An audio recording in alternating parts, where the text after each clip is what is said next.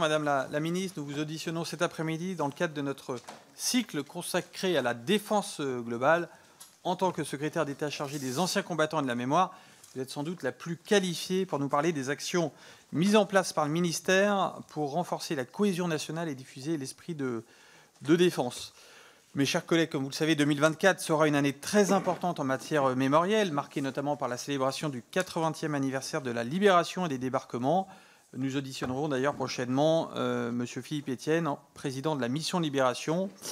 Euh, et je suppose que Madame la Ministre, vous aurez à cœur de faire de cette date anniversaire une occasion pour que les citoyens de tous âges puissent se remémorer euh, ce qui les unit à l'heure où certains sont tentés de parfois délaisser les cérémonies ou de céder à, à la division.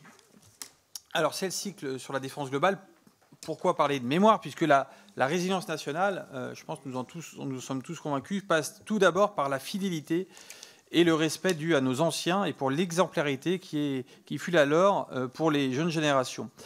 Euh, cependant, le nombre de nos grands anciens diminue jour après jour. Vous nous direz sans doute, Madame la Ministre, quelles actions vous pouvez mettre en place pour assurer la pérennité de la transmission des mémoires, tout en permettant aux soldats de la quatrième génération du feu de trouver leur place, une meilleure place dans le monde combattant.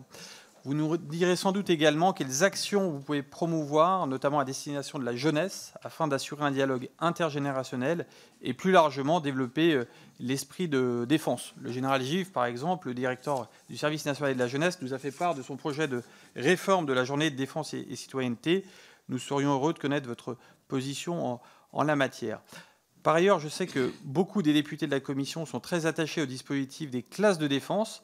Euh, mais s'interroge sur les manières de mieux sensibiliser et d'accompagner les professeurs qui souhaitent mettre en place ces dispositifs et euh, qui sont parfois confrontés à des difficultés d'ordre logistique euh, aussi sommaires que par exemple affréter un bus pour emmener leur classe visiter un lieu de mémoire.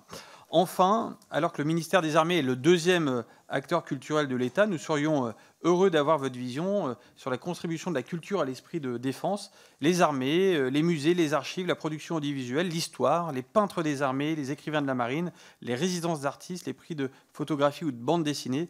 Voilà autant de vecteurs euh, qui disent ce que fut et ce qu'est et ce ce que sera peut-être l'esprit de défense. Nous serions donc intéressés de connaître vos impulsions en la matière. Aussi, sans plus tarder, Madame la Ministre, je vous laisse, je vous cède la parole. Merci, euh, Monsieur le Président, euh, Messieurs les vice-présidents, Mesdames et Messieurs les députés. Euh, commencer peut-être mon propos, Président, euh, sur la décision que j'ai prise de rapatrier les corps de six Français morts pour la, France, pour notre pays pendant la guerre d'Indochine. Et d'ailleurs, je sais que vous y êtes intéressés, je vous, je vous remercie. Ce sont ceux qui sont tombés pour la France euh, qui méritent d'être euh, honorés. Ni la distance ni le temps ne doivent euh, être un obstacle. J'aimerais partager avec vous les résultats d'un sondage commandé récemment par le ministère des Armées. 77% des Français de 15, de 15 ans et plus approuvent la mission permanente de dissuasion nucléaire. 75%, 75% l'opération Sentinelle. 65% la participation de l'armée française au renforcement des troupes de l'OTAN dans l'est de l'Europe, à proximité de l'Ukraine. Ce que ces chiffres révèlent, c'est non seulement qu'une très large majorité de nos concitoyens adhèrent aux missions de nos armées, mais aussi qu'ils en partagent les valeurs et qu'ils leur font confiance. Ce que montre ce sondage s'inscrit à rebours d'une certaine vision décliniste du lien armée-nation au contraire, on voit ici une manifestation de l'esprit de défense qui continue de réunir les Françaises et les Français. Et cette confiance, je la partage.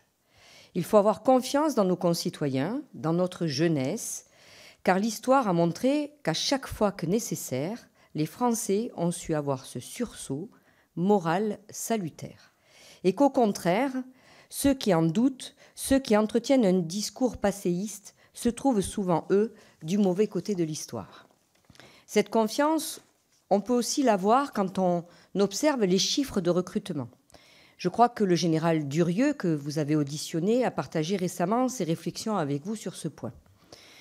C'est aussi pour cela que tout ce que je fais, toute mon action a pour but de renforcer encore davantage le lien armée-nation, les forces morales et l'esprit de défense qui caractérisent notre pays.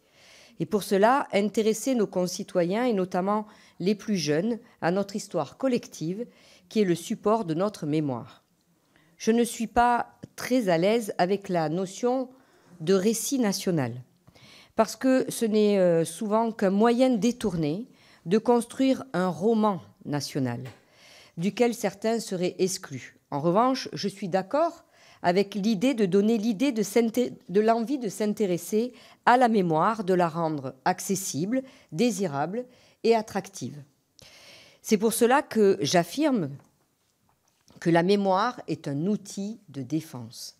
Entretenir, construire notre mémoire collective, ce n'est pas seulement cultiver un attachement nostalgique à un passé qui serait définitivement mort c'est bien, euh, euh, bien plutôt être en mesure de regarder l'histoire en face, c'est-à-dire de pouvoir prendre en main et maîtriser les sujets brûlants qui peuvent fracturer notre cohésion nationale.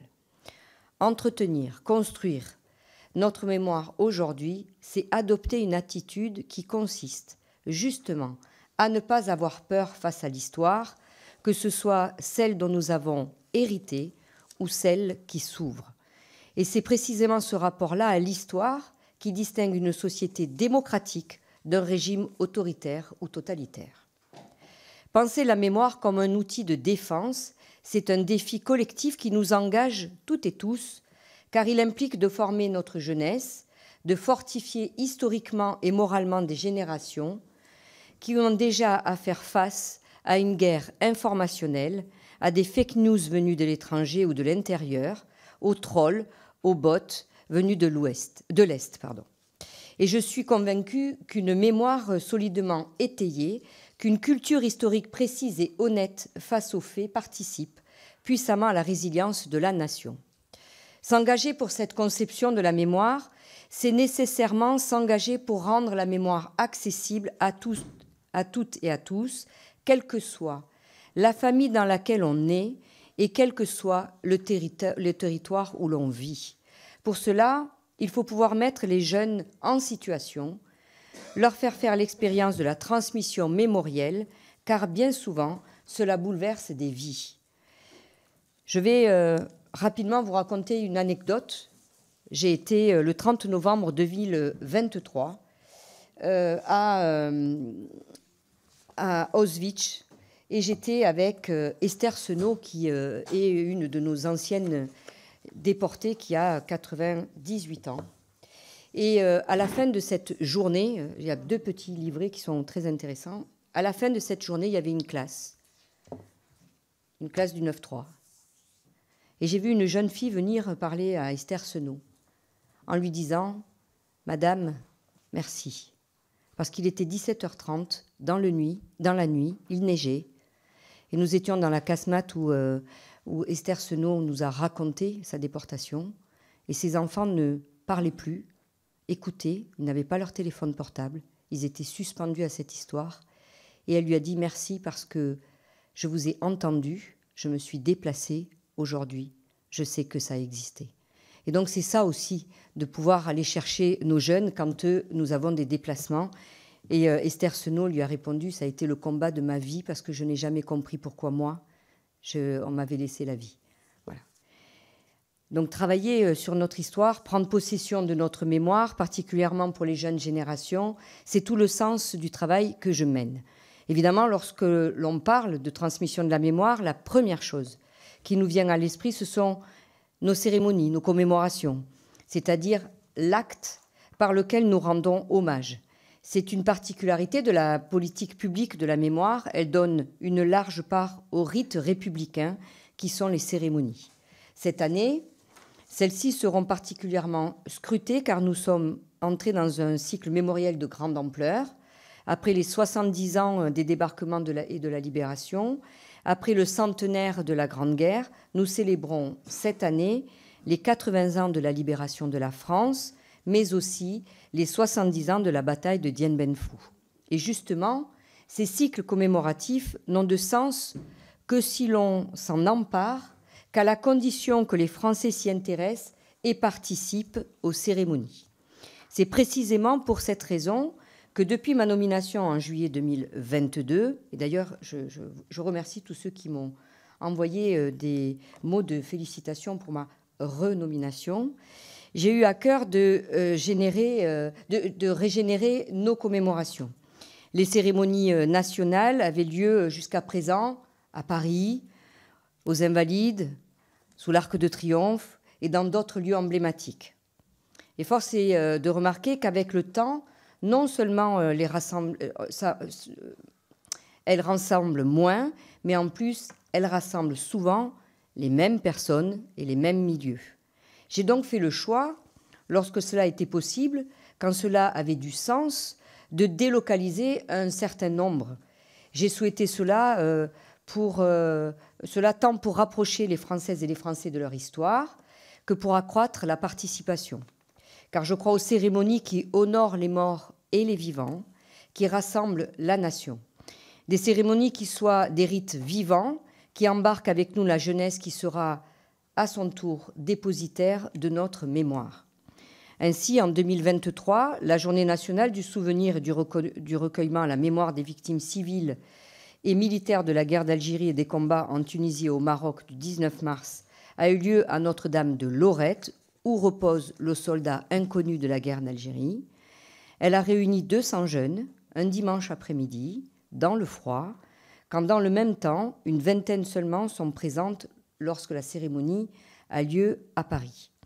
Celle du 30 avril 2023, en souvenir des victimes de la déportation, a eu lieu au camp de Nazerwiller-Struthof, où des centaines de déportés ont été forcés de travailler ou ont été exterminés. Là encore, c'était 150 élèves qui avaient fait le déplacement avec leurs professeurs. Et il me semble que c'était aussi un dimanche. J'ai également délocalisé le 8 juin au mémorial des guerres d'Indochine à Fréjus et le 5 décembre à Port-Vendre, qui fut euh, l'un des principaux ports d'embarquement des appelés pour l'Algérie et où est installé un monument pour les soldats disparus de la guerre d'Algérie. À chaque fois, il y avait beaucoup de monde, des jeunes, et des plus vieux, qui, si la cérémonie avait eu lieu à Paris, n'y seraient sans doute pas intéressés. Je vais vous raconter une autre anecdote. Je suis euh, au mémorial euh, de Charles de Gaulle et je vois aussi, euh, parmi toutes les classes qui étaient présentes, une classe aussi du 9-3 qui, à qui on n'avait pas trop donné les codes. Et donc, euh, à la fin de la cérémonie, je suis allée les voir pour leur expliquer ce qui s'était passé, pour savoir s'ils avaient compris ce qui s'était passé. Parce qu'au moment du serment de main, j'ai rencontré un ancien d'Indochine qui revoyait son drapeau pour la première fois. Et je lui ai proposé de venir avec moi voir le drapeau. Et donc ce soldat a pris le drapeau, s'est mis à pleurer évidemment. Et euh, je l'ai ramené quand je le ramène, il me dit Maintenant, je peux mourir. Alors j'ai dit Non, ça, c'est pas sympa. Payez-moi plutôt l'apéro, mais ne me dites pas que vous allez mourir, sinon je, me sentirai coupable. Et donc j'ai posé la question à ces jeunes Est-ce que vous avez compris ce qui s'était passé? Forcément qu'ils ne pouvaient pas comprendre.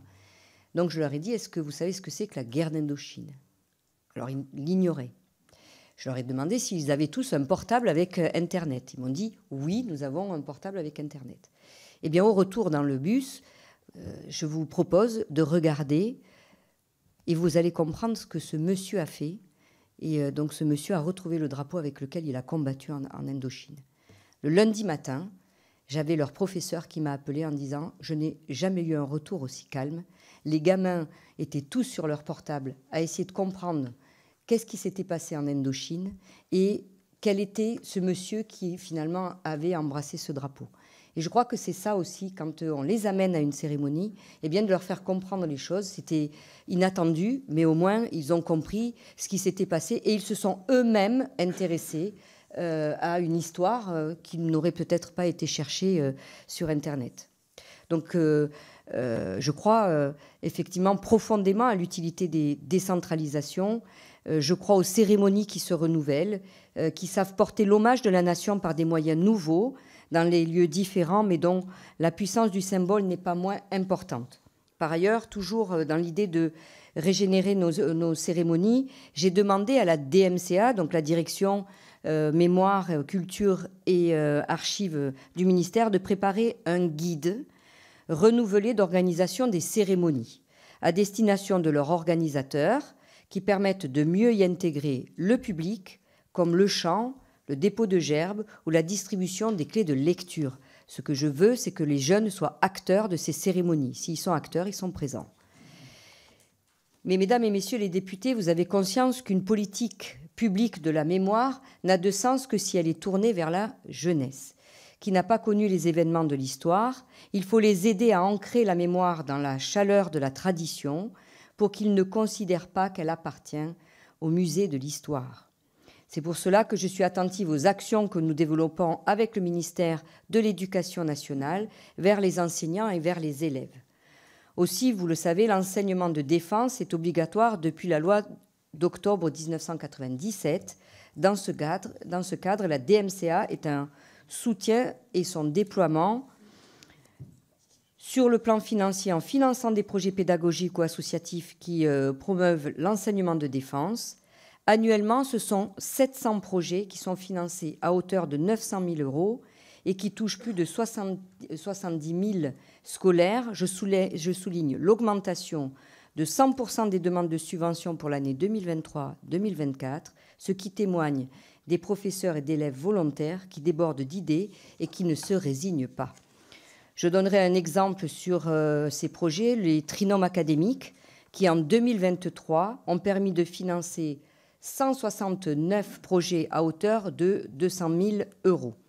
En organisant l'opération Héritier de mémoire et en participant au rendez-vous de l'histoire de Blois.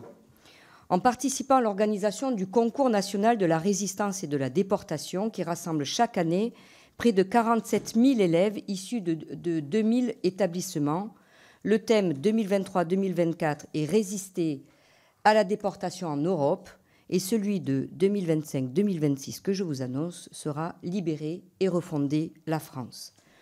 Par ailleurs, dans le cadre du cycle commémoratif des 80 ans, le GIP a déjà labellisé plus de 600 projets portés par des classes, des professeurs et des établissements, ce qui démontre, une fois encore, une grande adhésion de notre jeunesse au sujet de défense dès lors qu'on l'aide à s'en saisir. Sur le plan des ressources pédagogiques, crois que j'ai un dossier d'ailleurs. La DMCA conçoit et diffuse des ressources pédagogiques, si tu veux les montrer, d'enseignement de défense sur le site Chemin de mémoire et notamment sur la plateforme d'enseignement de défense educ.def, pilotée par la DMCA, placée sous le contrôle scientifique de l'inspection générale de l'éducation nationale. Le site recueille une moyenne de près de 100 000 visiteurs mensuels. La DMCA publie également la revue Les chemins de mémoire. Cette revue, quatre numéros et un hors-série annuel, est diffusée auprès de 50 000 établissements scolaires. Par ailleurs, elle est tirée à 23 000 exemplaires et distribuée en version papier au profit de 16 000 abonnés pour aider nos concitoyens et notamment les plus jeunes à s'intéresser à notre histoire, à leur mémoire. Nous pouvons nous appuyer sur l'immense patrimoine du ministère des Armées, qui est, je le rappelle, le deuxième opérateur culturel de l'État. De notre histoire, nous avons hérité de très nombreux lieux de mémoire dont nous pouvons aujourd'hui nous servir pour réactiver ou créer des milieux de mémoire. Aussi, la politique culturelle du ministère est de plus en plus axée outre la conservation du patrimoine, vers l'ouverture et la transmission de ce patrimoine au profit de la société civile et notamment de la jeunesse. Nous pouvons compter sur les musées nationaux qui participent à l'entretien de la mémoire et au devoir d'histoire pour l'éducation, la formation et l'intégration des jeunes générations. Pour les trois grands musées, ce sont près de 2 millions de visiteurs en 2023, dont 600 000 jeunes de moins de 26 ans. Les hauts lieux de mémoire nationale au nombre de 11 auxquels il faut rajouter les 275 nécropoles nationales, en plus des 2200 carrés militaires. Depuis septembre 2023, 139 sites funéraires et mémoriels français et belges de la Première Guerre mondiale ont été inscrits au patrimoine mondial de l'UNESCO.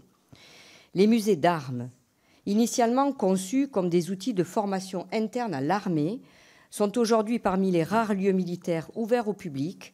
Ces musées sont aujourd'hui un, carrefour entre le monde des armées et la société civile, entre la jeunesse et les anciens combattants. En 2023, la fréquentation est revenue au niveau d'avant Covid, avec plus de 230 000 visiteurs, dont 30 660 collégiens et lycéens. L'ouverture et les échanges accrus vers l'univers de la création artistique contemporaine, je pense à C215, un graffeur, artiste engagé dans la défense des valeurs républicaines et le renforcement du lien armée-nation, agréé peintre des armées. Vous le connaissez sûrement puisque c'est Christian Guémy, c'est ce graffeur que euh, vous pouvez retrouver sur euh, les boîtes aux lettres, euh, qui peint, qui graffe aussi à la prison de Fresnes. Et il a reçu la médaille d'or de la défense nationale et il nous a fait un petit témoignage où il disait que lui, jeune et jeune graffeur, jamais, à l'âge de 50 ans, il pensait pouvoir euh, être euh, en tenue. Enfin, il a un uniforme aujourd'hui en tant que, euh, que peintre des armées et jamais il pensait pouvoir transmettre l'histoire à travers ses graphes et laisser lui aussi quelque part un peu la mémoire des choses qu'il a ressenties. Il a beaucoup peint pour l'Ukraine d'ailleurs, puisqu'il y est allé dès le, les premiers événements en Ukraine. Ensuite, pour soutenir et construire l'esprit de défense de la nation, nous avons des actes des cérémonies, des publics des institutions, la jeunesse, la culture et puis des acteurs sans qui rien ne serait possible. À ce titre, le rôle des anciens combattants avec qui je travaille énormément est essentiel. D'abord parce qu'ils, euh, parce qu'ils ont été les acteurs, aujourd'hui les témoins directs des conflits euh, qu'a connus la France. Ils sont dépositaires de leur mémoire. Ils savent ce que sont l'engagement et la guerre et ils peuvent tenir dessus un discours de vérité. Ensuite, parce que leur contribution à l'éducation, à l'histoire, la transmission de la mémoire est immense. Non seulement ils sont le cœur battant de nos cérémonies et de nos commémorations, mais surtout, ils sont extrêmement engagés dans vos territoires, auprès de notre jeunesse. Je pourrais vous citer euh, mille initiatives euh, dans ce sens. Les associations du monde combattant financent ainsi des projets de grande ampleur, très structurants, et qui réussissent dans le temps. Je pense par exemple au prix du civisme de la mémoire et de la FNAM que j'ai remis ce matin à l'Assemblée nationale. Et je le rappelle que cette association a noué un partenariat financier aussi avec le GIP. La FNAM est, euh, est venue soutenir le GIP euh, Libération en finançant ma demande pour 100 000 euros de projets pédagogiques cette année et sera un partenaire encore l'année prochaine. Plus généralement, la FNAM est un partenaire essentiel du ministère des Armées en matière de soutien à l'enseignement de défense. Grâce à sa commission jeunesse et mémoire, c'est chaque année des milliers d'élèves dont les voyages scolaires sur les lieux de mémoire sont financiers. Je ne peux que remercier la fédération Maginot. Toujours avec la FNAM et aussi avec l'UBFT, le ministère des Armées a mis sur pied la commission paritaire de financement des projets pédagogiques exceptionnels qui vise à financer la totalité des projets mémoriels portés par des établissements scolaires destinés à marquer leur territoire. Cette première a permis de financer pour 150 000 euros répartis sur 22 projets. Le réseau associatif du monde combattant est très dense. Il présente un maillage territorial extrêmement serré. Les combattants d'hier et d'aujourd'hui sont donc en mesure de parler à tout le monde, partout, tout le temps. Ils sont l'incarnation même des valeurs de résistance, de sacrifice et de courage qui participent d'un esprit de défense. Ils sont un modèle pour notre jeunesse qui est en demande de modèles et d'un héritage à incarner. Et c'est d'autant plus que j'aimerais rappeler que derrière l'appellation ancien combattant, il n'y a pas que des anciens. Vous en parliez sur euh, la quatrième génération du feu, Monsieur le Président, il y a aussi des hommes et des femmes de 25, 30, 35 ans qui ont participé à de nombreuses OPEX et qui savent, eux, à quel point notre pays a besoin de partager un esprit de défense avec les militaires qui se battent pour eux. Enfin, souvenons-nous que la spécificité de la mémoire combattante est au cœur du contrat social, qu'elle le renforce car elle unit les citoyens, leur pays et ceux qui les défendent. Parmi les acteurs qui animent l'esprit de défense en France, il y a bien sûr la DMCA qui est engagée dans une politique tout azimut en faveur de la transmission mémorielle. Évidemment, elle participe à l'organisation des cérémonies et des commémorations, mais ce n'est pas tout puisqu'elle soutient l'enseignement en général et l'enseignement de défense en particulier, en concevant et en diffusant des ressources pédagogiques nationales auprès des réseaux éducatifs. Elle encourage la création artistique en participant au financement de films, des documentaires et d'œuvres littéraires, et je pense notamment à la bande dessinée au prix des Galons de la BD, qui comporte depuis sa deuxième édition un prix spécifique pour la jeunesse décerné par un jury de, un jury de collégiens et de lycéens de la cinquième à la terminale issue de 18 classes de défense représentant chacun des régions académiques de métropole ou d'outre-mer. Le second opérateur qui met en œuvre la politique mémorielle du ministère des Armées, évidemment, c'est l'ONAC-VG. Sa mission mémorielle a été inscrite dans la LPM. L'ONAC-VG est un acteur de terrain au plus proche des territoires, car ses services départementaux, dont le maillage est très fin, assurent l'animation des écosystèmes mémoriels locaux. Enfin, je n'oublie pas le Bleuet de France, qui fait aussi partie des dispositifs sur lesquels nous pouvons nous appuyer. À double titre, comme fin en soi, puisqu'il permet de collecter des fonds pour aider nos, nos militaires blessés, et comme outil, puisqu'il permet de mobiliser très largement le monde combattant, comme la société civile, des amicales régimentaires, aux associations d'anciens combattants, jusqu'aux sportifs et aux classes. La montée en puissance du Bleuet, c'est l'une des grandes priorités que je me suis fixée, et la doctrine que j'ai rédigée vise à accompagner sa montée en puissance. Car il y a dans cette petite fleur qui consacre la victoire de la vie sur la mort dans la boue des champs de bataille, tout ce qui unit la nation à celles et à ceux qui la protègent, et je remercie les parlementaires et toutes les formations politiques qui le portent. Je voudrais euh, maintenant souligner quelque chose d'important qui structure la politique que je porte. Il est primordial de bien garder en tête qu'une politique publique de la mémoire ne réussira, ne sera pérenne qu'à la condition d'être territorialisée. Tous les déplacements que je fais l'illustrent, les réussites durables n'ont lieu que lorsqu'elles s'intègrent dans des dynamiques locales anciennes et intégrées. Par exemple, dans le Morbihan, un vadémécum des porte-drapeaux a été réalisé en associant la députée Le Hénanf, la DMD et l'ONAC-VG départemental. Ce qui est intéressant avec ce recensement, unique euh, en France, c'est qu'il euh, crée un effet d'entraînement et qu'il valorise l'action des porte-drapeaux.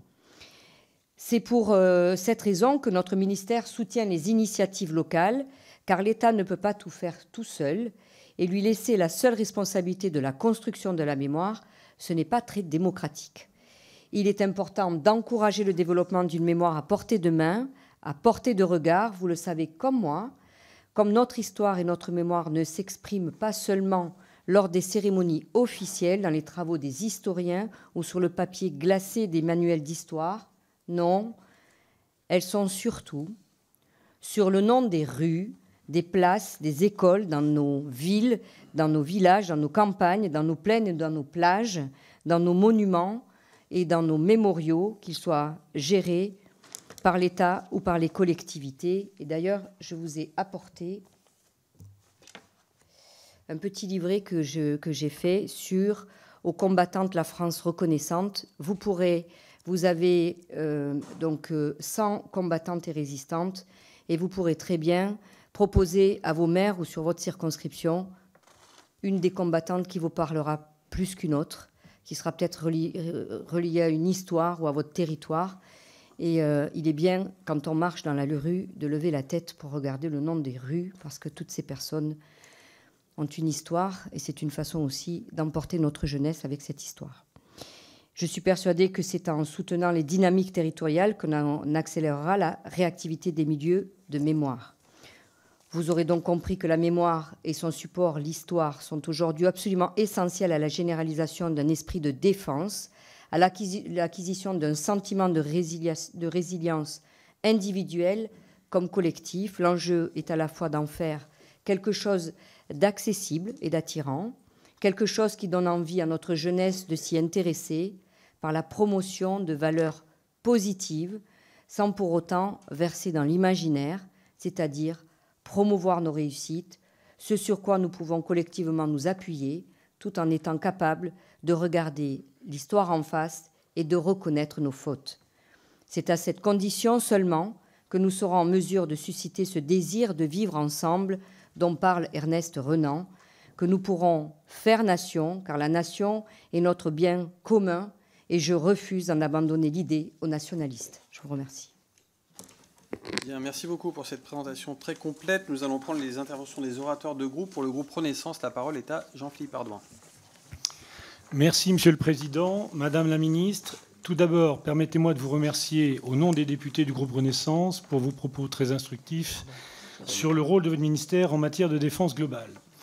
Je tiens également à saluer vos interventions et vos rencontres tout au long de l'année sur le terrain qui témoignent de votre attachement profond en faveur du monde combattant. C'était un honneur de vous accueillir le 7 novembre 2022 en Charente-Maritime, dans une petite commune où plus de 500 personnes étaient présentes pour une cérémonie du ravivage de la flamme de la nation, amenée depuis Paris par l'Association du Relais Sacré, et pour votre visite de la base aérienne de l'école d'enseignement technique de l'armée de l'air de l'espace de Sainte-Légon-Ténac. La mémoire collective des sacrifices consentis par nos anciens combattants et la préservation de leur héritage jouent un rôle crucial dans la construction et pour notre identité nationale, ainsi que dans la défense de nos valeurs. Votre ministère incarne la reconnaissance et le respect envers ceux qui ont défendu notre pays, souvent au péril de leur vie, et veille à ce que leur engagement et leur dévouement ne tombent jamais dans l'oubli en organisant des commémorations, en entretenant les lieux de mémoire et en soutenant les anciens combattants et leurs familles. En préservant la mémoire des conflits passés, nous gardons à l'esprit les leçons apprises les erreurs à ne pas répéter et les valeurs pour lesquelles nos ancêtres se sont battus. Cette transmission générationnelle est essentielle pour former des citoyens conscients de leur histoire et de leurs responsabilités envers la défense de leur pays. Cette mission a encore davantage de sens aujourd'hui en raison du retour de la guerre malheureusement sur notre continent. Ce cycle sur la défense globale nous rappelle que la défense ne se limite pas qu'aux aspects militaires, mais englobe également la préservation de notre cohésion sociale, de nos valeurs démocratiques et de notre identité culturelle, en contribuant ainsi à forger un sentiment d'unité et de solidarité nationale indispensable dans toute politique d'une nation. Ce lien armée-nation si nécessaire, surtout en ces temps compliqués. Je suis heureux aussi de constater que la politique mémorielle bénéficie cette année de crédits supplémentaires de 19 millions d'euros qui permettent notamment d'accroître l'effort de restauration du patrimoine mémoriel dans les sites où de lourds travaux sont indispensables.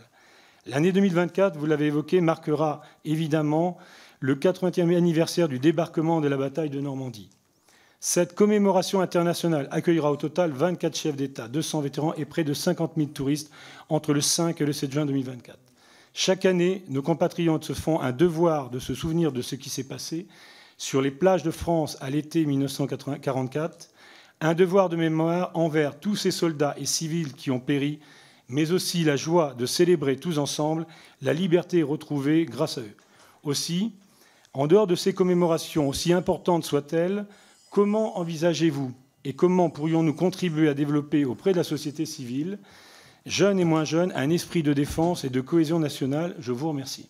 Merci, Madame la Ministre. Monsieur le député Ardouin, euh, merci pour cette euh, question qui me permet de développer euh, davantage certains points que je n'ai pas eu dans mon propos liminaire.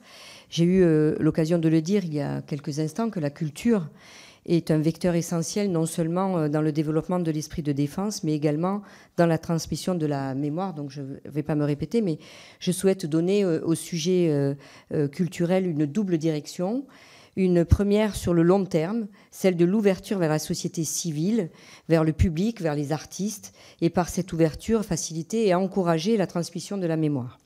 La seconde est tournée vers l'actualité mémorielle et culturelle et qui se focalise bien évidemment pour euh, l'année 2024 sur les commémorations du 80e euh, anniversaire de la libération et sur les Jeux olympiques et paralympiques. Cette dernière thématique permet en particulier de faire découvrir et mettre en avant, euh, à travers un programme culturel dense et varié, les liens étroits entre le sport et l'armée.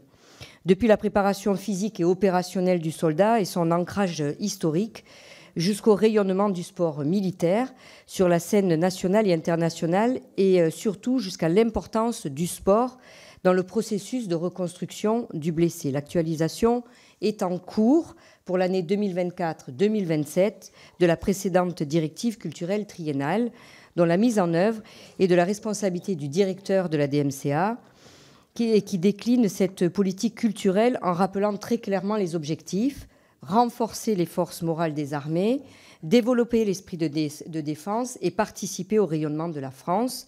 Pour illustrer ces propos, je vais vous donner quelques exemples.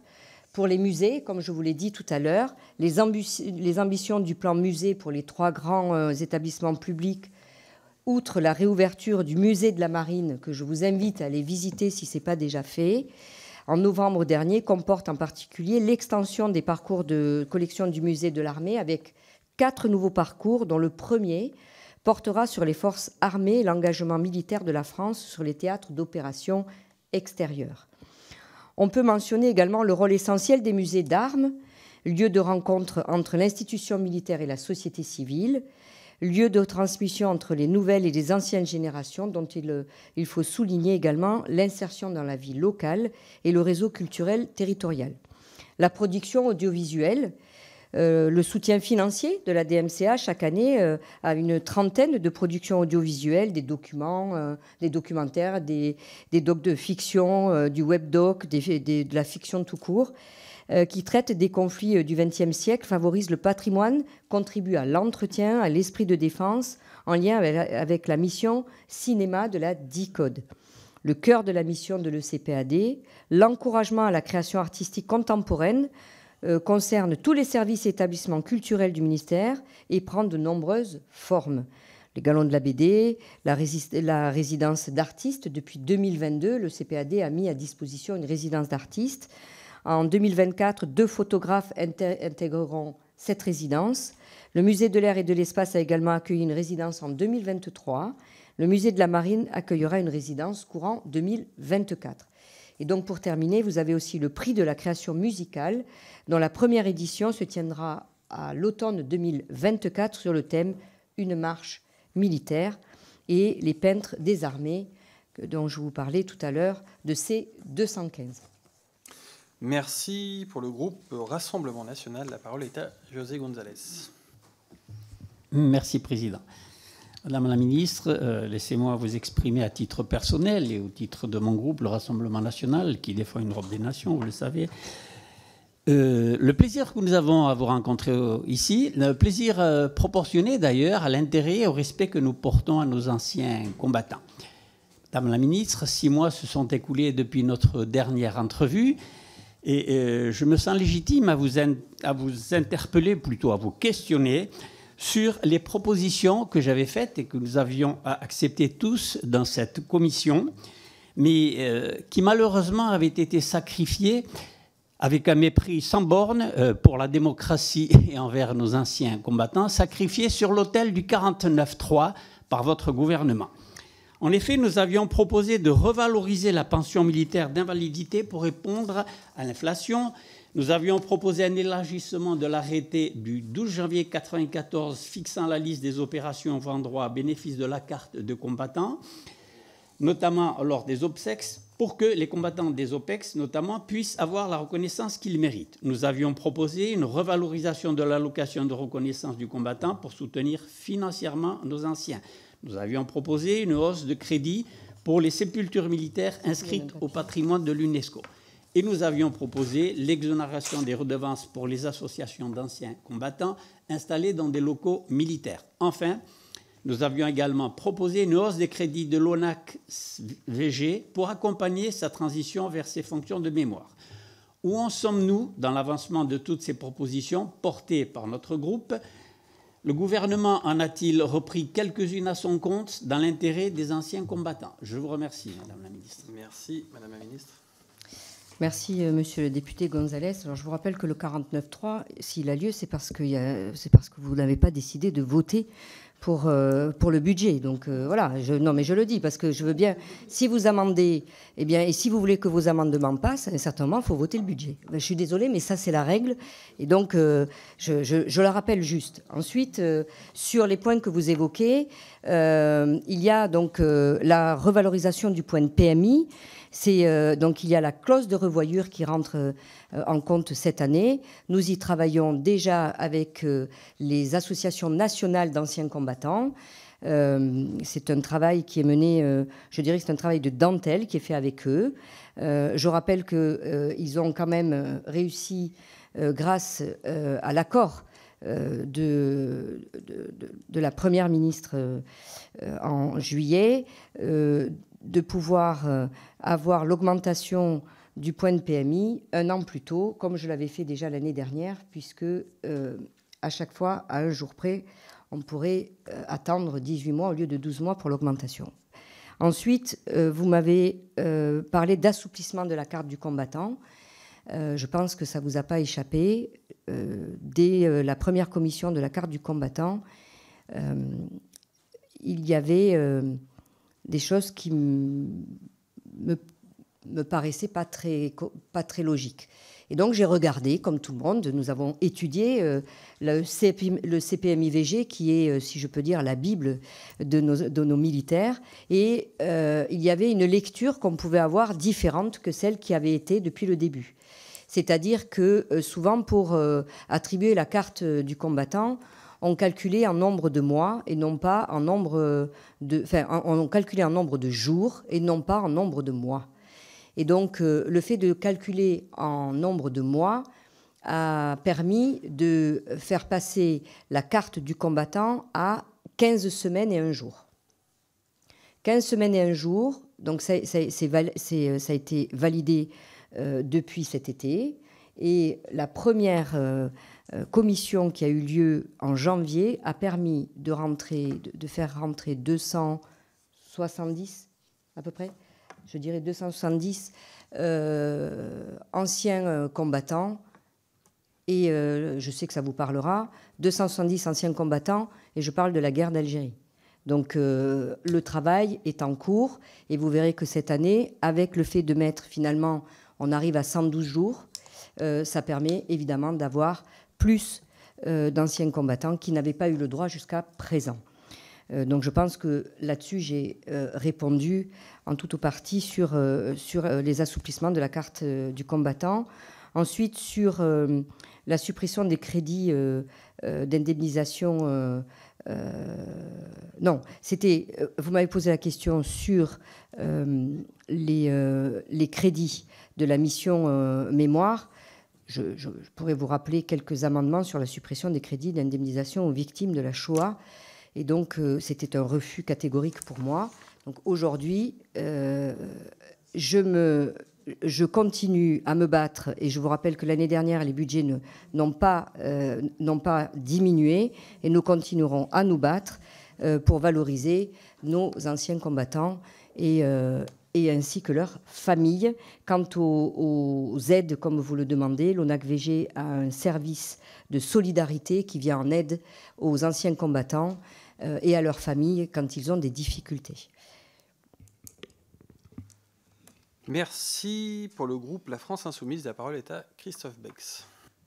Merci, Monsieur le Président. Madame la Ministre, tout d'abord, je suis heureux d'apprendre le rapatriement des corps des six soldats français de la bataille de Dien Bien Phu. Et j'en profite pour citer la guerre d'Indochine, car elle est à peine mentionnée en cours d'histoire, en terminale générale, alors que la bataille de Dien Bien Phu est fortement instructive. Elle marque un point de rupture. Et le politiste Yuan Fong déclare sur l'histoire des guerres que les dirigeants politiques sont de piètres historiens, leur répertoire de parallèles historiques est restreint, si bien qu'ils choisissent et appliquent les mauvaises analogies. Et vous l'avez dit tout à l'heure, l'histoire et la mémoire sont des armes. Ces guerres du XXe siècle abordent une question toujours d'actualité, le droit à l'autodétermination des peuples. Dans le contexte actuel, il est nécessaire que la population soit sensibilisée à ces événements qui ont forgé notre nation. En 2021, la Cour des comptes a dressé le bilan des référents académiques mémoire et citoyenneté. Ce sont des inspecteurs du second degré qui ne consacrent à leur dossier académique qu'un temps très limité, sont dépourvus de moyens. Et qu'en est-il aujourd'hui? Pourquoi ne pas assurer l'accès à la jeunesse à des cours d'histoire qui permettraient de lever le tabou autour des guerres coloniales ou de libération auxquelles la France a pris une part active par le déploiement de ses soldats et de ses conscrits, d'assurer la cohésion nationale autour d'une mémoire commune au service des défis auxquels nous ferons face. Thomas Sankara disait La francophonie peut être un instrument de notre libération. Ce travail de mémoire collective et de la francophonie sont autant d'opportunités de construire avec les peuples une relation libérée des restes du colonialisme.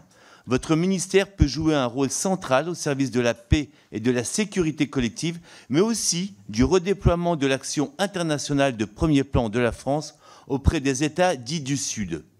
Que comptez-vous faire à ce sujet à l'aube des 80 ans de la libération? Et que comptez-vous faire des propositions de mon collègue pour la reconnaissance mémorielle des malgré nous d'Alsace-Moselle? Je vous remercie pour vos réponses. Madame la ministre. Alors, monsieur le député Bex, d'abord, vous dire que la décolonisation est enseignée au lycée, que la guerre coloniale est aussi, euh, est aussi enseignée et que je fais confiance aux enseignants, et j'en ai vu encore aujourd'hui, je pense qu'on peut les saluer, surtout dans le, contexte qu'ils vivent, euh, et qui est un contexte difficile. Euh, je crois que nous pouvons dire que ce sont des hussards de la République, et donc ils s'investissent au-delà même de ce qu'on leur demande. Ensuite, je ne veux pas esquiver vos questions, mais vous me posez beaucoup de questions qui concernent surtout l'éducation nationale. Donc je peux demander à la ministre, euh, euh, Madame Belloubet, de pouvoir y répondre, en tous les cas, pour vous apporter les réponses nécessaires. Mais je ne suis malheureusement pas euh, ministre de l'Éducation nationale. Ce que je peux vous dire, c'est que je m'emploie à chaque fois, je, me déplace beaucoup, et je dis je me déplace beaucoup en France, dans des petits territoires, parce qu'ils ont aussi besoin de nous voir. Je vais dans les collèges, je vais dans les lycées, je discute avec ces, euh, élèves. J'ai euh, d'ailleurs participé il n'y a pas très longtemps à un colloque sur la guerre d'Algérie euh, à Sciences Po Aix. Et donc, on est là aussi pour rentrer en discussion, écouter, parce que si on n'écoute pas notre jeunesse, on peut la regarder toujours en disant que la jeunesse, elle va pas bien. Enfin, moi, je trouve qu'on a une belle jeunesse en France et qu'il faut aller vers eux. Alors, oui, en tous les cas, moi, je prendrai ma part euh, sur, sur la mission qui est la mienne.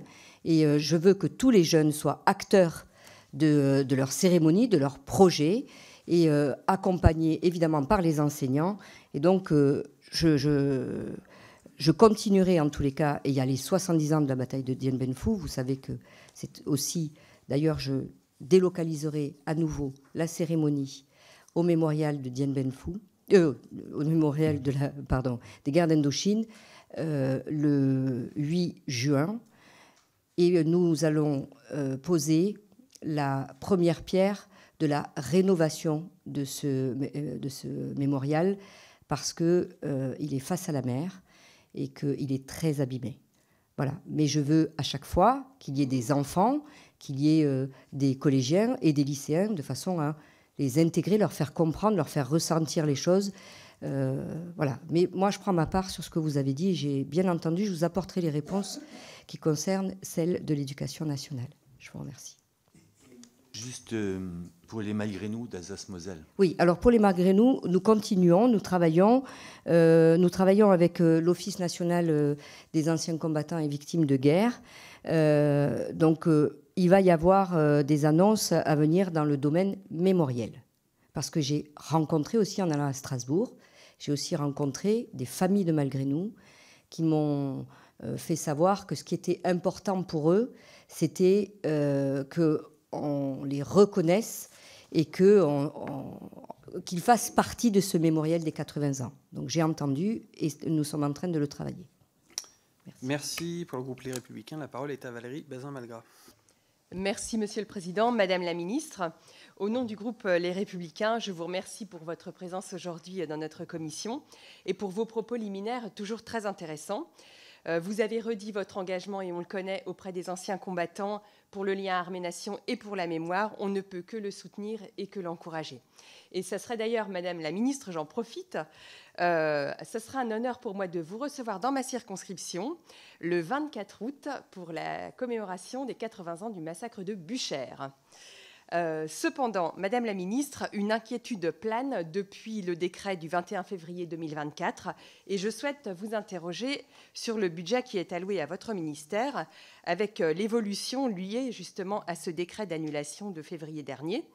Euh, votre, euh, le budget de votre ministère a donc été impacté par cette baisse et je souhaiterais connaître quels sont les projets qui seront touchés et si cette liste est définitive, si vous aviez commencé à élaborer une courbe de redéploiement de ces dépenses dans le temps, le cas échéant, à quel rythme et selon quel ordre de priorité? Je vous remercie.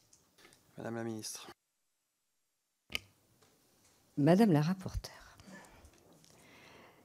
Alors, comme nous travaillons bien ensemble chaque année sur le budget, je vais vous répondre, bien que ce n'est pas le, pas le, le, thème de, la, de l'audition, mais je vais le faire parce que je voudrais enlever certaines inquiétudes. Alors, s'agissant bien sûr des propositions de mesures d'annulation des crédits euh, faites par le ministère des Armées, hein, puisque nous avons quand même travaillé, euh, qui concerne le programme 169, qui est reconnaissance et réparation euh, de, en, faveur du monde combattant de la mémoire et les liens avec la nation, ce que je peux vous dire, c'est que les 17 millions d'euros de crédits annulés par le décret du 21 février 2024 seront déduits de la ressource prévue pour le financement de la dette viagère. Donc c'est les pensions militaires d'invalidité et l'allocation de revalorisation du combattant. Cela s'appuie sur la diminution annuelle de la dette viagère en raison d'un nombre moins important euh, de bénéficiaires. Cette diminution de la ressource ne remet pas en cause les droits des bénéficiaires qui sont garantis par la loi. Je veux vous rassurer, les pensionnaires, les pensionnés et les anciens combattants ne, euh, constateront donc naturellement euh, aucune interruption dans le versement euh, de leurs prestations. Ce faisant, j'ai souhaité que l'équilibre général du programme et des politiques de mémoire soit préservé. Mais je sais que nous allons avoir d'autres euh, moments de travail ensemble pour euh, le euh, prochain budget à venir. Merci. Merci. Pour le groupe démocrate, la parole est à Jean-Pierre Cubert-Lafont. Merci. Monsieur le Président, Madame la Ministre, chers collègues, je souhaite en premier lieu vous remercier pour votre présence parmi nous aujourd'hui et pour l'éclairage fort intéressant que vous apportez sur la manière de renforcer l'esprit de défense des citoyens. À ce titre, le groupe démocrate s'associe à votre propos sur les commémorations, sur la question de la sauvegarde des lieux de mémoire, ainsi que sur le rôle des anciens combattants qui demeure essentiel. Le travail de mémoire est indispensable et il doit toucher tous les citoyens et c'est ce que le ministère des Armées s'attache à entreprendre, en particulier auprès de la jeunesse, à travers différents programmes en partenariat avec l'éducation nationale. Vous l'avez mentionné avec la mise en place de classes de mémoire ou encore de concours national de la résistance. À travers un véritable parcours de citoyenneté, les jeunes ont ainsi l'opportunité de s'éveiller à l'esprit de défense, d'être sensibilisés au lien armée-jeunesse-citoyenneté qui leur permet d'acquérir de manière ludique des connaissances, des compétences et la culture nécessaire en matière de défense et de sécurité nationale à travers l'histoire, les enjeux de société et le patrimoine. Le groupe démocrate salue à ce titre votre engagement et la qualité des travaux effectués sur ce sujet. L'esprit de défense, sa diffusion et son renforcement auprès du plus grand nombre s'appuient sur un équilibre essentiel à trouver entre l'action du ministère des Armées et celui de l'Éducation nationale. Comment conjuguer jeunesse et citoyenneté? Cette question soulève finalement d'autres interrogations telles que le rôle des parents complémentaire à celui des ministères cités précédemment ou encore le rôle du service national universel. À ce titre, quels sont, selon vous, les leviers d'action alternatifs qui mériteraient d'être considérés afin d'accentuer le plus largement possible le renforcement de l'esprit de défense auprès de notre jeunesse? Les parents doivent-ils jouer un rôle dans ce processus? Et si oui, lequel? Madame la Ministre, je vous remercie. La Ministre. Monsieur le député Cuberta Font, le renforcement de l'esprit de défense dans la jeunesse est une priorité pour toute nation consciente de l'histoire passée et des défis devant elle. C'est d'ailleurs euh, cette conscience qui avait poussé en 1997 le législateur à introduire aussi bien dans le Code de, l'éducation que dans le Code de la défense, en son signataire, vous l'avez dit aussi, les ministères euh, chargés de la défense, de l'éducation nationale, de l'enseignement supérieur et de la recherche, ainsi que de l'agriculture. Je travaille en ce moment avec mon collègue Hervé Berville à l'extension de ce protocole au lycée de la mer afin d'assurer la couverture la plus grande des lieux d'enseignement. L'éducation à la défense peut se définir comme l'enseignement et la sensibilisation des élèves et des équipes pédagogiques à l'organisation, aux missions et aux enjeux de la défense et de la sécurité nationale par des enseignements dispensés et la conduite d'actions pédagogiques. Je suis euh, heureuse que vous ayez évoqué le rôle fondamental des familles et de l'échelle locale. C'est en effet euh, à cette échelle que s'enracine le mieux l'esprit de défense, c'est-à-dire la conscience individuelle d'appartenir à une société qui doit être défendue. Le rôle du dernier kilomètre, euh, en l'espèce, l'école, est essentiel. Je ne peux euh, parler à la place de ma collègue Nicole Belloubet, mais nous partageons la conscience du rôle vital euh, que jouent les enseignants à, l'échelle de l'école. Un projet réussi transcende les élèves, les professeurs, les établissements, mais aussi les parents. J'ai en tête le projet audiovisuel réalisé par les élèves de Madame Robert au collège de Giraude à Armentier près de Gap sur l'histoire de la prise en charge des blessés dans les armées depuis la Grande Guerre. La réalisation de ce film est exceptionnelle.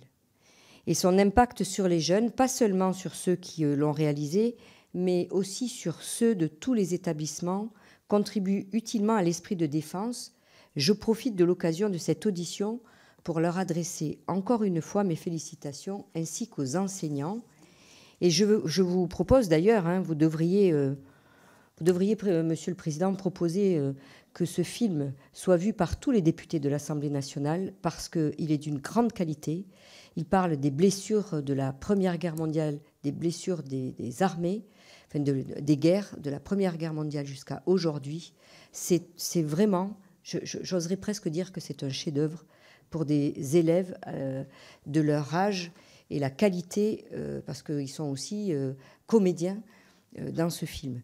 Voilà, donc il y a une prise de conscience sur, sur ces acteurs et évidemment, nous devons leur donner les moyens avec la défense nationale. vous dire aussi qu'il est primordial de préserver l'intégrité évidemment du territoire face aux menaces et aux, aux enjeux contemporains. Dans cette perspective, les Trium Académies de défense qui regroupent donc chaque académie autour du recteur, les représentants des armées et les associations régionales de l'IHEDN sont des rôles aussi essentiels. Ils prennent en charge de nombreuses activités de formation comme les rallyes citoyens destinés aux élèves. Je pense en particulier à celui du camp de Souges qui rassemble plus de 500 élèves chaque année venus de toute l'Académie de Bordeaux. Cependant, nous le savons, les activités qui sont souvent des moments de découverte et de ces enjeux et de cet esprit de défense pour les jeunes doivent trouver des relais plus profonds et plus régulier. Et donc, euh, j'invite aussi, vous parliez des familles, et eh bien peut-être dire aux familles de pouvoir enfin parler, puisqu'il y a des familles qui n'ont pas encore raconté leur histoire. Merci. Pour le groupe Horizon, la parole est à Loïc Carvon.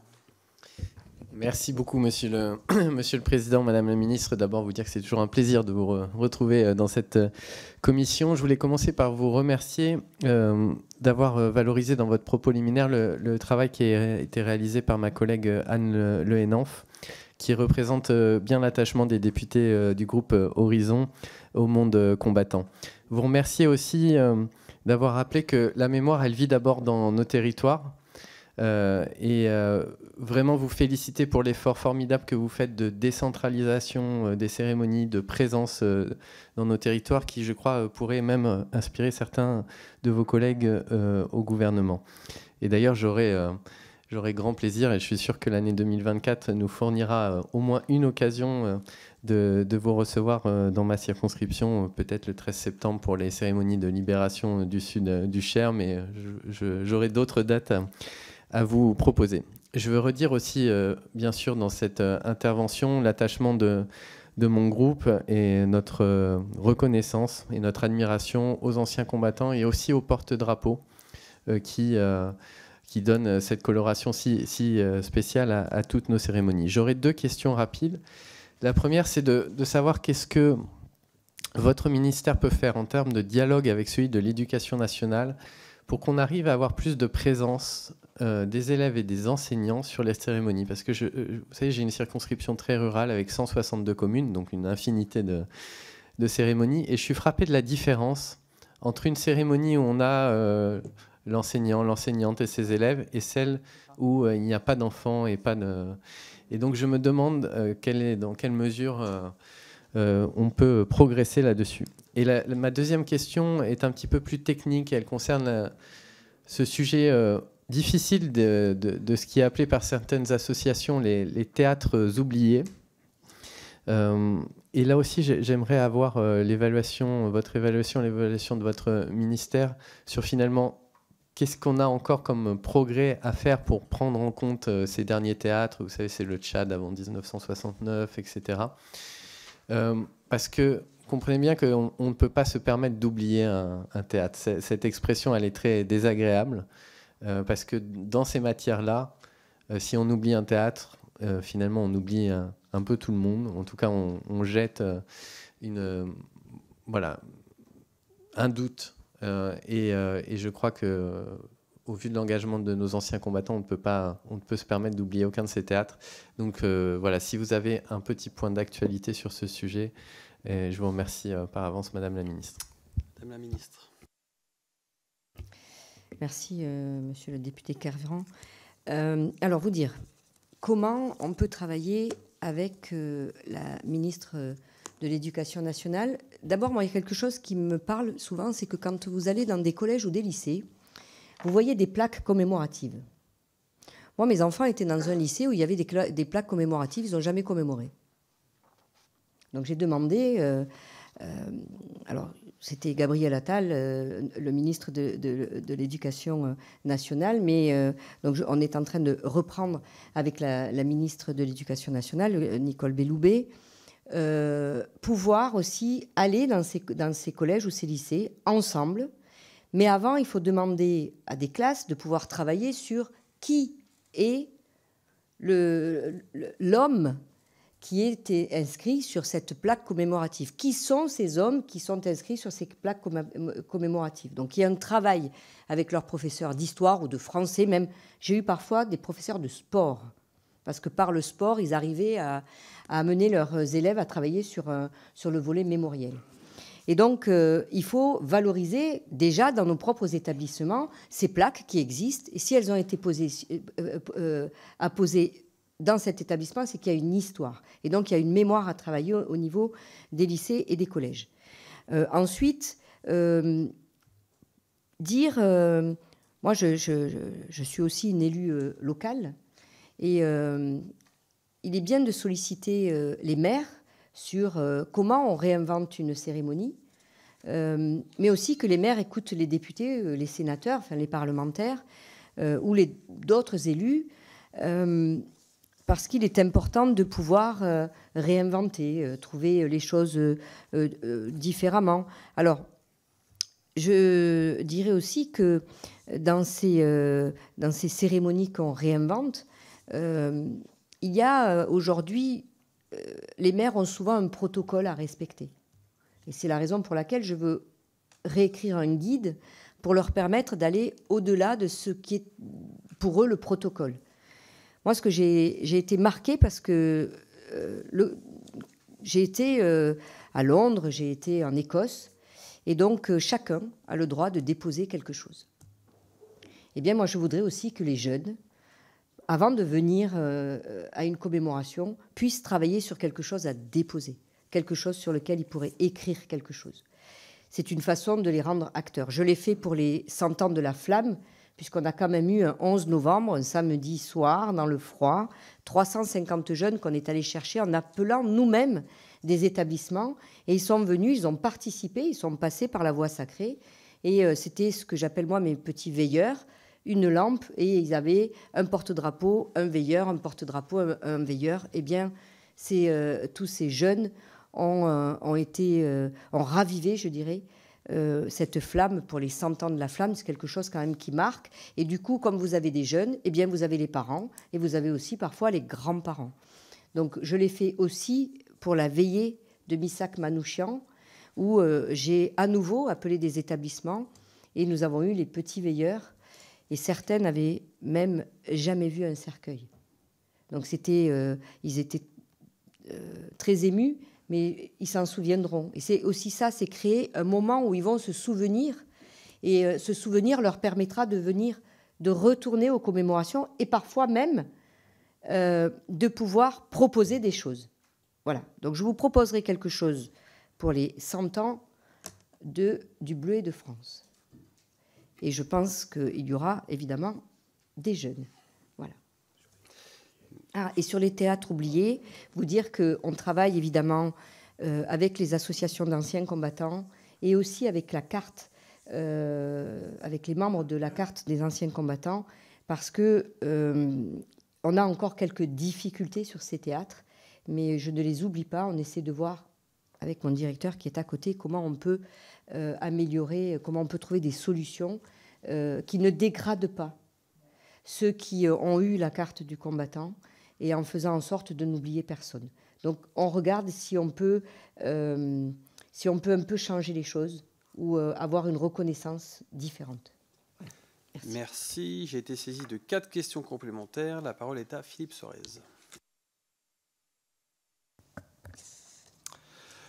Monsieur le Président, Madame la Ministre, chers collègues, j'aimerais vous interroger sur les manifestations du 80e anniversaire du débarquement, de la libération de la France et de la victoire. Ce cycle commémoratif est important pour toute la nation, pour chaque citoyen français. Il constitue une occasion de nous rassembler derrière nos valeurs et de faire preuve de cohésion nationale. Ces 80 ans de la libération offrent également l'opportunité de transmettre la culture de l'engagement à notre jeunesse et de faire rayonner notre histoire à l'international. À cet égard, Madame la Ministre, pouvez-vous nous détailler les moyens qui seront mis en œuvre pour populariser ce 80e anniversaire afin que chaque Français se l'approprie dans tous les territoires en dehors des grandes cérémonies militaires? Merci. Merci. La parole est à Gisèle Lelouis. Merci, Monsieur le Président, Madame la Ministre. En tant que secrétaire d'État chargé des anciens combattants, et de la mémoire auprès du ministre des Armées, vous savez malheureusement comme moi que le nombre d'anciens combattants diminue. Or, ceux-ci entendent faire vivre leur engagement passé. Et si des enfants sont parfois présents dans les cérémonies commémoratives, voyez-vous un intérêt à augmenter la présence de ces ambassadeurs de l'esprit de défense lors d'entretiens ou de conférences dans les écoles françaises afin de renforcer la cohésion nationale, peut-être de susciter des vocations mais en tout cas de faire vivre leur engagement et notre histoire. Par ailleurs, faire vivre cette mémoire comprend aussi le rendre hommage à nos soldats qui tombent aujourd'hui, encore au champ d'honneur, pour que l'on puisse vivre en paix. En 2019, le caporal-chef Cédric Guillot, natif de Château-Gombert de ma circonscription marseillaise, est décédé au combat contre des orpailleurs illégaux durant l'opération Harpie en Guyane. Pour sa famille, ses camarades de régiment et à la demande de l'Association des anciens combattants de Château-Gombert, je souhaiterais savoir si vous seriez favorable à ce qu'une plaque en son nom soit apposée sur le monument aux morts de Château-Gombert. Je vous remercie pour vos réponses. Merci. La parole est à Jean-Marie Fivet. Merci, Monsieur le Président. Madame la Ministre, c'est toujours avec un immense plaisir de vous recevoir au sein de cette commission que vous connaissez bien. Et je vous remercie pour vos propos introductifs et vos premières réponses. La notion de défense globale concerne un vaste spectre d'acteurs de notre société, réunis autour d'un objectif commun, assurer la sécurité des citoyens et les défendre contre toutes les formes d'agression et d'injustice. Face aux nouvelles donnes internationales et aux risques auxquels notre pays est confronté, cette notion prend tout son sens. Toutefois, la défense globale repose sur les citoyens. Il est donc important de rappeler aux Français les raisons pour lesquelles les orientations prises en matière de défense et de sécurité sont non seulement légitimes, mais aussi et surtout nécessaires, dans la mesure où elles visent à protéger leurs conditions de vie personnelles, notre souveraineté ainsi que nos institutions. C'est entre autres l'objet de la politique mémorielle du ministère des Armées, qui permet de construire et de nourrir tout au long de la vie les éléments qui constituent notre mémoire collective. Mais si le ministère des Armées pilote la politique mémorielle de la nation, sa mise en œuvre se fait grâce à de nombreux acteurs sur l'ensemble de notre territoire. Je pense en particulier à nos élus locaux. Ainsi, Madame la Ministre, pourriez-vous m'indiquer les aides proposées de nos élus locaux engagés en tant qu'acteurs majeurs de notre politique mémorielle? Madame la Ministre, je vous remercie pour ces précisions. Merci. La parole est à Frédéric Boccaletti. Merci, Monsieur le Président. Madame la Ministre, euh, mon intervention va rejoindre celle qu'a fait tout à l'heure mon collègue. Ma question portera sur l'attribution de la médaille Outre-mer avec agrafe Tchad aux militaires ayant participé à l'opération menée du 25 août au 25 novembre 1968 au Tchad. L'attribution de cette médaille, désormais impossible depuis le 23 septembre 2014, n'a concerné que les militaires ayant participé aux opérations au Tchad à compter du 15 mars 1969. De ce fait, les acteurs des opérations antérieures n'ont pas obtenu cette médaille, alors que leur action mérite toute la considération et la reconnaissance de la nation. Ils sont d'ailleurs nombreux à nous solliciter pour, que cette attribution puisse se faire. Dans une question écrite, mon collègue Grégoire de Fournas vous avez demandé si vous comptiez intervenir pour que ces anciens combattants obtiennent cette médaille. Je me fais donc le relais de ces personnes. Comptez-vous prendre en considération leur action afin qu'ils puissent être décorés de cette médaille? La reconnaissance envers nos anciens combattants est un enjeu essentiel de notre défense. Aucune raison ne justifie d'exclure certains d'entre eux de celle-ci. Et je me permettrai, puisqu'il me reste quelques secondes par rapport à mon collègue tout à l'heure, Madame la Ministre, tout à l'heure, mon collègue euh, José González vous a interpellé sur des amendements qui avaient été déposés par notre groupe sur euh, des, textes, des propositions que nous faisions pour les anciens combattants. Et vous avez indiqué que vous étiez opposé à des amendements de suppression de crédits concernant le devoir de mémoire sur la Shoah. Ces propos sont scandaleusement faux. Nous n'avons jamais fait d'amendement avec de tels propos. Ce sont des gages. Attention, les gages ne sont pas du tout la même chose. Je me permets de vous rappeler, Madame la Ministre, euh, quand nous faisons des amendements sur les textes, sur le, côté, sur des propositions pour nos armées, nous sommes obligés de gager et on ne peut gager que là-dessus. les seuls à pouvoir relever le gage, et d'ailleurs le gouvernement l'a déjà fait, c'est le gouvernement. C'est donc vous qui avez refusé de lever les gages et donc de mettre en application les propositions du groupe Rassemblement national. Mais attention, c'est une obligation légale. Hein. Nous n'avons pas le choix, on ne peut pas gager autre chose que sur le devoir de mémoire. Merci. Et enfin, la parole est à Nathalie Serre. Merci, Monsieur le Président. Madame la Ministre, j'ai pas vraiment de questions. Je voulais simplement euh, porter témoignage euh, sur ce que vous, nous avez partagé. Euh, j'ai sur ma circonscription une classe défense, qui est dans la haute vallée d'Azergue, qui est un énorme relais du lien armée-nation et, des chemins de la mémoire. et tout ça tient à la volonté d'un professeur euh, et c'est bien là la difficulté, entre guillemets, c'est que ça tient à la volonté d'un professeur, soutenu évidemment par le proviseur, mais ça tient à la volonté d'un professeur. Et effectivement, euh, je rejoins la question qui vous a été posée tout à l'heure sur euh, le lien avec, avec l'éducation nationale, comment on peut renforcer ce lien. Et une question qui vient en, dans, ce cadre-là, c'est est-ce qu'il est, est qu'il y a un moyen de, de, de, de votre part de travailler avec de, travailler avec l'éducation nationale, par exemple, pour qu'on puisse avoir une journée nationale, une journée euh, dans l'année pour toutes les classes défense, par exemple, d'un territoire. Euh, je ne sais pas, voilà, pour, essayer de, pousser un peu le, un peu le, sujet. j'ai une professeure d'histoire des géographies qui est absolument géniale dans un lycée polyvalent qui fait le concours de la résistance euh, avec des plâtriers peintres sur des Stoppelstein, un truc enfin, extraordinaire. Euh, vous avez parlé des veilleurs de la mémoire. Dans cette classe défense, il y a eu une passation de. Ils, ont reçu un drapeau d'un maquis. Euh, voilà, c'est des expériences extraordinaires. Vous voyez des gamins qui ont des billes comme ça. Et la difficulté qu'on a pour promouvoir ces classes défense et, et, les, territoires sont vraiment demandeurs. Il y a vraiment une énergie, une envie. La difficulté reste quand même effectivement euh, un peu le fonctionnement, euh, enfin le, financement même euh, très peu, parce qu'il n'y en a pas du tout en fait sur ces classes défense. Donc c'est aussi un sujet que, voilà, qui reste peut-être. Euh, je, sais que c'est difficile aujourd'hui dans le contexte, mais il y a un problème de financement. Voilà, je voulais simplement porter à connaissance ces, expériences qui sont extrêmement positives. Les territoires le demandent, et je pense qu'en en fait, il ne faut pas grand-chose sinon que de la volonté des élus pour pouvoir favoriser ce genre d'initiative. Je vous remercie. Merci mes chers collègues. Alors je vois qu'il y a beaucoup de questions concernant l'éducation et c'est très bien, ça confirme la pertinence de la mission d'information qui est en cours éducation et défense qui est portée par nos collègues Christophe Blanchet et Martine Etienne. Et je vous précise par ailleurs que nous essayons d'organiser une audition de Nicole Belloubet qui pourrait avoir lieu euh, courant mai pour euh, explorer l'ensemble des, sujets que vous avez pu évoquer. Madame la ministre. De répondre à tout le monde, la question du député Sorez.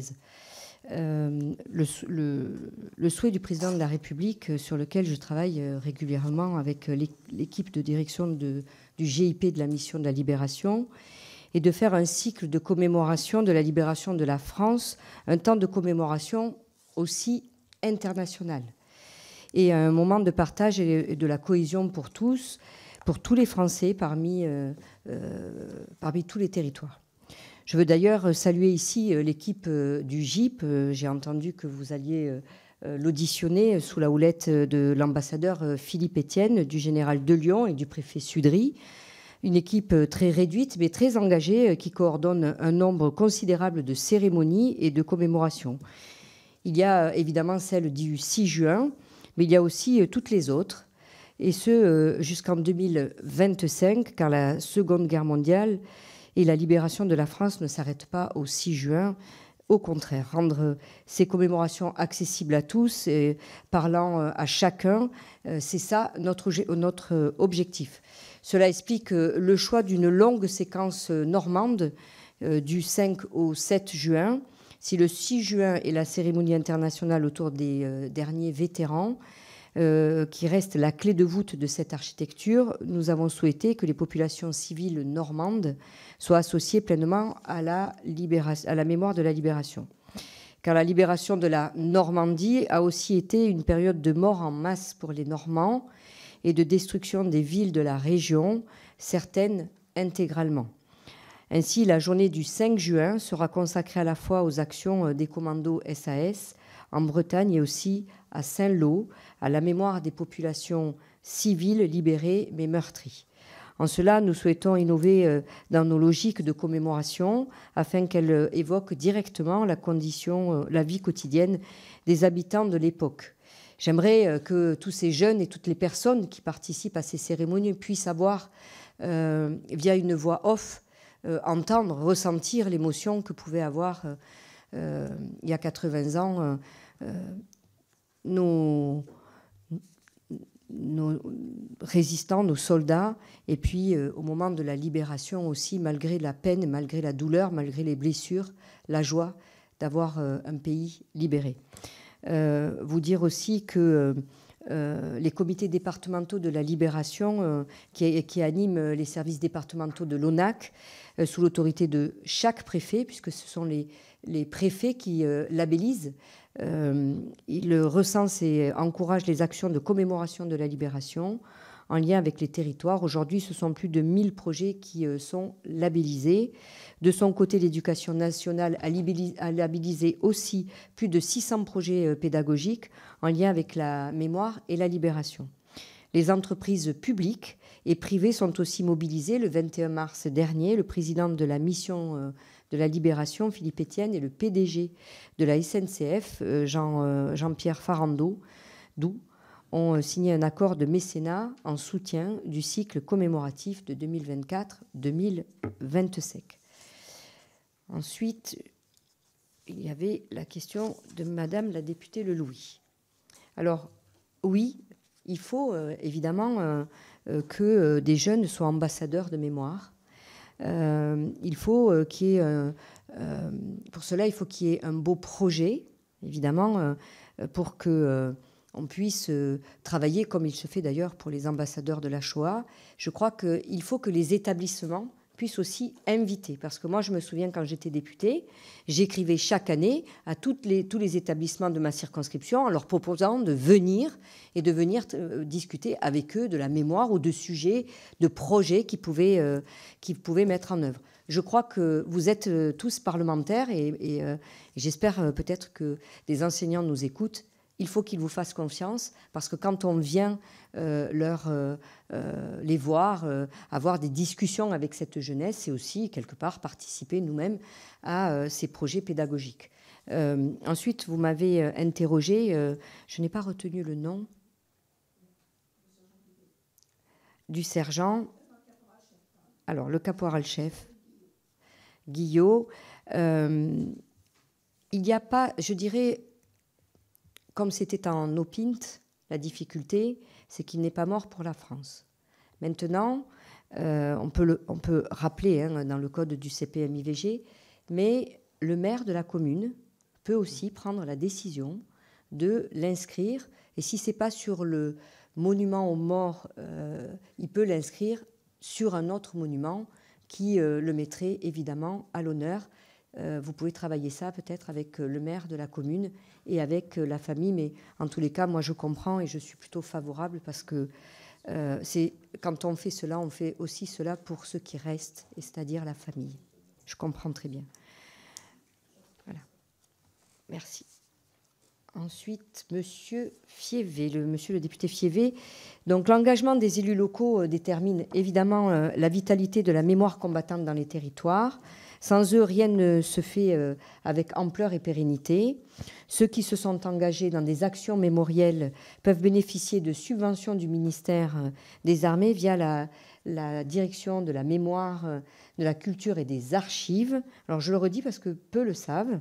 Le ministère des Armées s'appuie sur les dynamiques locales en soutenant dans le cadre des projets partenaires territoriaux, les PPT, les ambitions de, collectivités territoriales ou d'associations porteuses de projets d'équipement mémoriel à portée, nationale, voire internationale. Depuis le lancement du cycle du centenaire de la Première Guerre mondiale, le ministère des Armées a apporté son soutien à près de 70 euh, collectivités locales et associations porteuses de projets mémoriels euh, d'envergure euh, pour plus de 20 millions d'euros prenant en compte l'ensemble des conflits contemporains ainsi qu'un équilibre des territoires. En 2024, compte tenu du nombre des projets portés euh, par les territoires, euh, ça sera jusqu'à 950 000 euros qui pourront être consacrés au soutien des projets pédagogiques, muséographiques et mémoriels portés par les collectivités territoriales et des associations dans le cadre du PTT. Les projets d'importance moindre, moins d'intérêts nationaux, peuvent faire l'objet de l'attribution d'une subvention instruite dans le cadre de la commission des subventions présidée par la direction, donc par la DMCA. Elle permet notamment d'accompagner la restauration et la création d'éléments mémoriels de proximité, des monuments, des plaques commémoratives ou les, actions de valorisation et du tourisme de mémoire, chemin mémoriel, bornes, programmation d'événements mémoriels. J'ai eu, euh, eu, je dirais, euh, euh, l'honneur de, d'inaugurer deux monuments. Un monument aux morts qui n'existait pas dans une commune qui était, un, qui était les plaques étaient posées sur un trottoir, pour tout vous dire, et donc, euh, nous avons travaillé avec euh, le maire de Saint-Cériès et qui a obtenu une subvention euh, la, grâce à la DMCA qui a permis de faire enfin son monument aux morts et avec une autre commune, une toute petite commune de 400 habitants, qui est la commune de Murle, et qui n'avait pas, qui n'a pas eu de mort sur sa commune. Et donc le maire disait mais comment je fais pour venir commémorer avec mes classes, avec mon école élémentaire? Et donc, il a créé, et nous l'avons donc aidé, euh, sur une pierre, juste le, monument de tous les morts, euh, de tous les soldats morts de toutes les guerres. Et ça lui permet évidemment de pouvoir euh, venir commémorer de faire toutes les commémorations et de rendre hommage. Voilà, c'est aussi une façon pour nous de pouvoir continuer à aider. Puis peut-être vous dire que l'enveloppe prévue pour 2024 est de 350 000 euros dans le cadre de l'agenda rural 2 euh, lancé en 2023 une mesure modulant l'aide apportée pour les communes de moins de 2000 habitants. Je vous en avais parlé de l'audition qui a été retenue. Voilà. Et une enveloppe de 250 000 euros sur les 350 000 euros est réservée pour les communes rurales et elle permet de porter l'aide à 50% du budget nécessaire à la restauration avec un plafond de la subvention à 5 000 euros au lieu du forfait de 1 600 euros habituel pour les autres communes, quel que soit le montant du projet. Ensuite, j'avais. Alors, monsieur le député Bocaletti, euh, peut-être répondre d'abord sur la, notion euh, d'OPEX qui a été créée par la loi du 6 août 1955. Seuls sont susceptibles d'être qualifiés d'OPEX les engagements représentant des conditions d'intensité d'exposition à une menace opérationnelle particulière. Cette qualification fait l'objet d'un examen au cas par cas et la décision est prise au vu de la nature des actions conduites sur le terrain. Les missions menées par les euh, militaires engagés en République du Tchad avant 1969 n'ont pas été qualifiées d'OPEX car elles ne remplissaient pas les conditions d'intensité de menace opérationnelle requises. Cela ne signifie pas pour autant que l'on euh, méconnaisse les mérites des militaires qui ont pris part à cet engagement opérationnel. Peut-être revenir euh, effectivement sur je dirais, ma mauvaise expression. Alors, oui, il y avait des engagements et les engagements étaient gagés. Le gage, c'est aussi une question d'équilibre. Et donc, on peut gager sur le tabac aussi. Or, vous avez gagé euh, au-delà euh, des crédits du P158. Vous avez, vous avez gagé tous vos amendements vous avez gagé vos amendements, tous vos amendements, au-delà des crédits du P158. Mais vous gagiez plus que mon budget.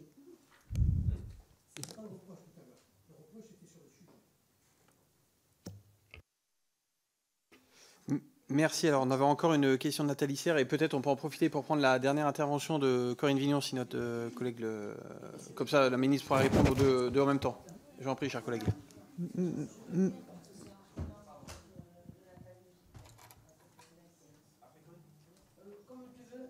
On va prendre Corinne Vignon, je vous en prie. Merci. Merci, Monsieur le Président. Merci, Madame la Ministre, d'être euh, parmi nous. C'est toujours un plaisir de, vous revoir. Euh, alors moi, j'ai une petite question extrêmement simple. Extrêmement simple. Euh, sur ma circonscription, j'ai rencontré un porte-drapeau qui est, un, porte-drapeau qui est venu avec son petit-fils. Et ce petit-fils est lui-même porte-drapeau depuis l'âge de 10 ans et il a aujourd'hui 17 ans. Et donc le grand-père me disait, mais ne peut-on pas, alors je sais qu'il y a, je crois, un diplôme qui est remis au, au porte-drapeau, jeune porte-drapeau, mais il me disait, puisqu'il a fait, il est là depuis l'âge de 10 ans, etc., est-ce qu'on ne peut pas lui donner une petite médaille? Alors, je, je, vous dire que je lui ai donné la médaille de l'Assemblée nationale. Bon. Mais c'était une question et, plusieurs personnes m'ont déjà posé ceci. Donc, Madame la Ministre, si vous pouvez m'éclairer. Merci. Et donc une dernière intervention de notre collègue Josie Poeto en lien avec euh, celle de Nathalie. Oui, oui, merci. Bon, moi, effectivement, toujours un plaisir de, de croiser euh, Patricia. On va le dire comme ça. C'est Madame la ministre, mais bon, c'est aussi euh, quelqu'un qui, qui, compte pour nous sur le plan amitié, amical et affectif. Moi, je voulais rebondir sur ce que disait Nathalie parce que euh, c'est vrai que ce sont les enseignants, c'est toujours un enseignant. Et ce matin, j'ai pas pu rester, mais ce matin, c'est aussi un enseignant qui a accompagné euh, justement pour une remise de prix à une, lycéenne du lycée Saint-Dominique à Pau, et qui a donc euh, eu cet honneur-là. Et le papa a été d'ailleurs effectivement très fier. Mais moi, ce que je, je veux dire, c'est aussi les parents qu'il faudrait arriver à convaincre, parce que de venir à des cérémonies, ça se passe les, dimanches, les jours fériés. Euh, quand il y a en plus de ça, je vous passe là le 8 mai avec la semaine qui nous attend, avec l'ascension derrière, il faut qu'on arrive à trouver. Alors, c'est vrai que les enseignants, puis ce sont souvent toujours les mêmes, il y a les classes défense, mais j'ai envie de dire, les classes défense, elles viennent assez facilement parce que c'est un engagement aussi où les parents, entre guillemets, euh, accompagnent cette, euh, cette démarche. Mais euh, moi, j'ai un enseignant, et d'ailleurs, on compte bien lui remettre effectivement une médaille de l'Assemblée parce que ça fait des années qu'il est là, il accompagne des CM1 et des CM2. Et donc ça, c'est beaucoup plus compliqué parce qu'il faut avoir l'autorisation des parents. Il faut que les parents accompagnent ce, ce, ce, moment, ce mouvement-là. Moi, je sais que quand je remets, je dépose une gerbe, je, je m'entoure de JSP et parce qu'ils ont aussi cette présence-là, et de ces petits, justement pour que les parents aient aussi euh, cette euh, fierté de voir euh, leur, leur enfant déposer une gerbe bon, et d'être mis en valeur. Donc voilà, donc il faut trouver, peut-être, je ne sais pas si c'est à travers les parents d'élèves ou comment, ça dépasse un peu le cadre strict de Madame Belloubet, par contre. Voilà, merci. Je ne vois plus de questions, donc je propose de laisser Madame la Ministre répondre et éventuellement conclure. Alors, euh, merci pour ce témoignage, euh, Madame la députée Serre. Vous dire qu'il existe euh, des financements sur les crédits budgétaires ou sur la commission tripartite que j'ai souhaité avec la FNAM. Donc il y a un budget qui est donné et, donc pour cette année. et donc il faut s'en servir. On a, on a, vu des classes qui déjà ont fait deux, trois voyages. Euh, vous dire aussi que la reconnaissance, évidemment, est importante et ça va répondre à la question aussi euh, de, Josie, euh, de la députée.